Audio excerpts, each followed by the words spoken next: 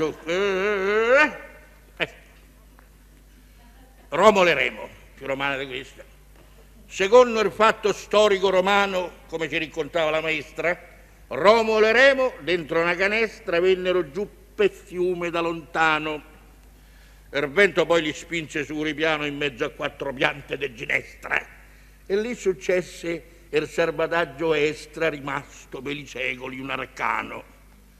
Una lupa li serbò, così li pupi succhiorno il latte suo come Anabalia e crebbero con l'indole dei lupi. De fatti dali tempi ormai lontani, li discendenti succhiano l'Italia e quel che è buffo è che non sono romani.